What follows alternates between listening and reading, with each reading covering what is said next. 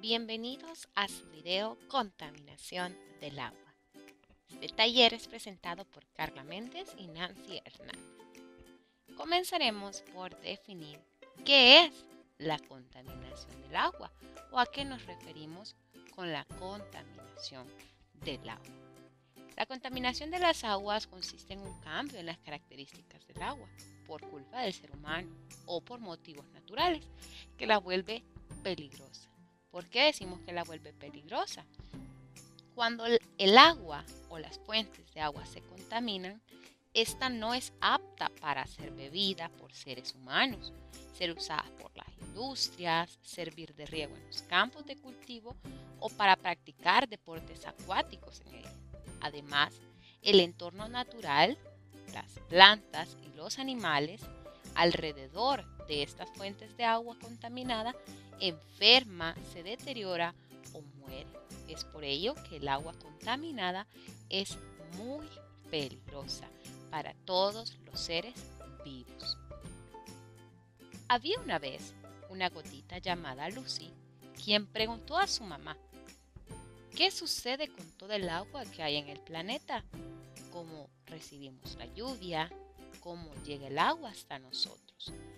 Es por ello que su mamá le contestó a esa pregunta.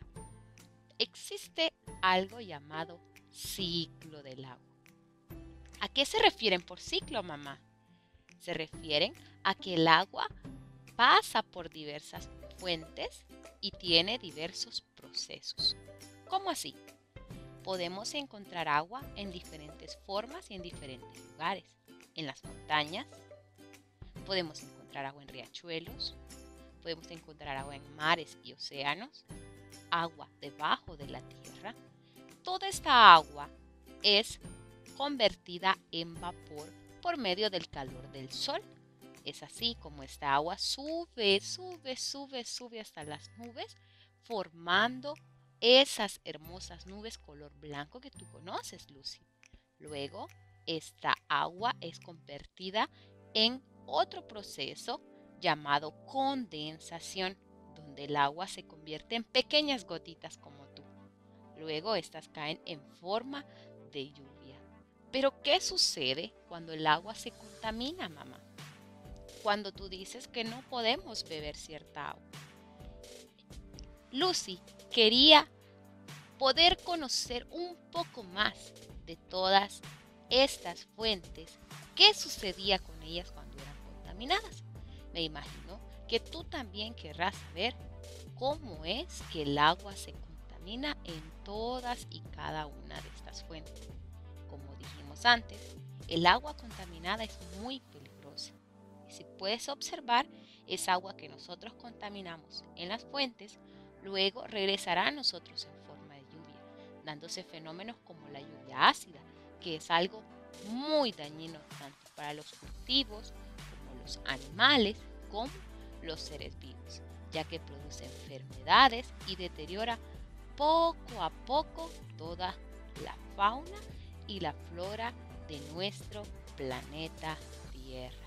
Así que acompáñanos a ver un pequeño experimento que podrá explicar mejor cómo se da el proceso de contaminación.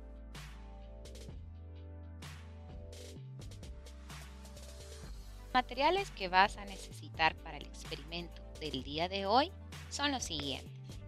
Vamos a necesitar un recipiente transparente como este bol, el cual puede ser plástico o de vidrio, siempre con la ayuda de un adulto. Tiene que ser lo suficientemente grande para que quepa el siguiente material, un cartón de huevos que solo vamos a necesitar aproximadamente el espacio de 6. Necesitarás papel toalla que encontrarás en casa. Vamos a necesitar aproximadamente 3 a 4 hojas. Un recipiente conteniendo aproximadamente 3 tazas de agua. Para ello puedes pedir ayuda a un adulto. Vas a necesitar linaza aproximadamente un puñado de linaza vamos a utilizar. También vamos a utilizar colorante para alimentos. el color que sea tu favorito. Puedes utilizar cualquiera de ellos. También vamos a necesitar una tijera o bisturí, lo cual deberá ser manipulado por un adulto en el momento que sea necesario. Recuerda tener listos todos tus materiales.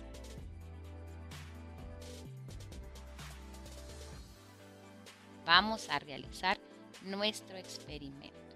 Lo primero que vamos a hacer es colocar el recipiente color transparente sobre una superficie plana, en este caso una mesa. Sobre este vamos a poner papel toalla. Recuerda que el recipiente debe estar completamente seco. Sobre nuestro papel toalla, de preferencia vamos a colocar un papel toalla grueso para que este absorba agua. Vamos a colocar el cartón de huevos que ya hemos cortado previamente con el bisturí o la tijera. Y si en tu casa tienes un cartón de huevos de 6 unidades, será una opción más factible. Vamos a comenzar depositando el agua poco a poco. Quiero que observes cómo esta se va trasladando de una unidad a la siguiente. Esto es lo que sucede con lo que vimos anteriormente en el ciclo del agua. Las fuentes de agua se van complementando unas con otras. Comienzan el agua desde las montañas a vertirse, a llenar cada una de las fuentes subterráneas. Estas fuentes a su vez, como los ríos, van a desembocar hasta los mares. Es algo similar lo que sucede cuando se traslada el agua desde una de las copas de este cartón de huevos hacia otra. Observa ahora entonces qué sucede con la linaza, quien está simulando los contaminantes de residuos que nosotros depositamos en las fuentes de agua. Cuando nosotros contaminamos una fuente de agua, mira cómo se transporta hacia otra fuente de agua. Es decir, la contaminación va digregándose o regándose por todas las fuentes de agua hasta terminar en los océanos, contaminando completamente estos espacios marítimos. Pero aparte de estos residuos que nosotros depositamos como basura, botes, también existen los derrames de petróleo en el océano. Estos los simularemos con el colorante de color verde. Mira cómo se va esparciendo dentro del agua este colorante. Y recuerda, el agua es cíclica. ¿Qué sucede cuando el agua empieza a generar movimiento? Ve cómo se contaminan otras fuentes. Esto es lo que sucede cada vez que hay algún factor contaminante, sea residual o sea líquido. Todas las fuentes de agua se contaminan unas a otras. Es por ello lo importante de cuidar nuestras fuentes de agua, de no contaminarlas, de no colocar en ellas residuos líquidos ni sólidos que van a terminar por destruir nuestra biodiversidad. Puedes mostrar este experimento a tus amigos para ver cómo es que se contaminan todas las fuentes de agua.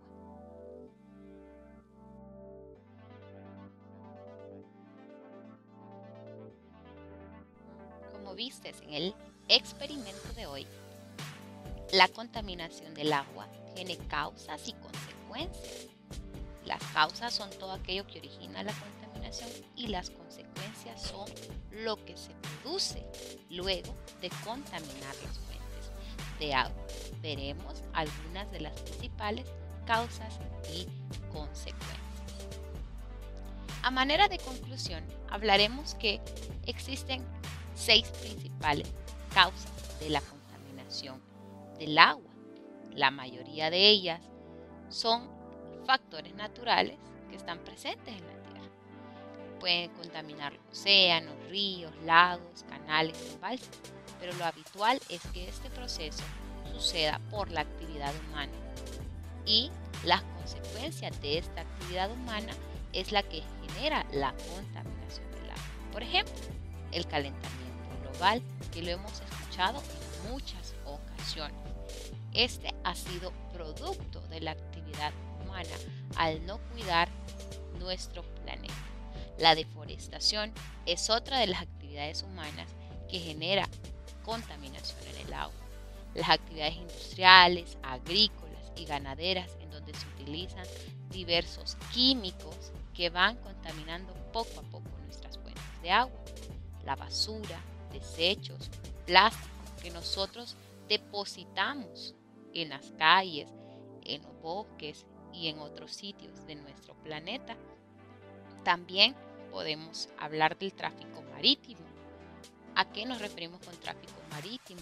A la pesca ilegal, a los turistas en barcos que expiden eh, lo que es derrame de combustible, entre otras eh, actividades. Todas estas son causas de la contaminación del agua.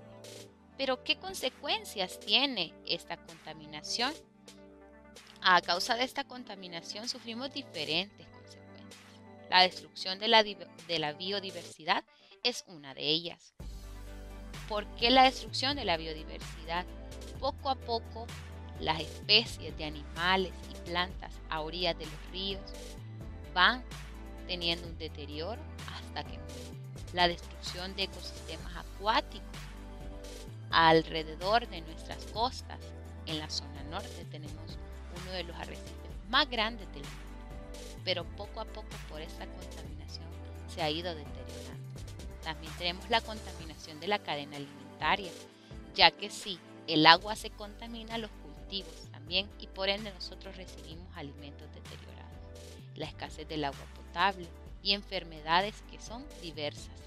Todas estas son consecuencias de la contaminación del agua. Por lo tanto, recuerda que el agua es un recurso básico para garantizar la vida de todos los seres vivos del planeta, incluyéndote a ti y a mí. Sin embargo, su escasez y la contaminación provocan que millones de personas tengan un acceso deficiente a este bien tan necesario. Es por ello que debemos cuidarla y evitar su contaminación. Recuerda, tú también debes ser un vigilante ambiental.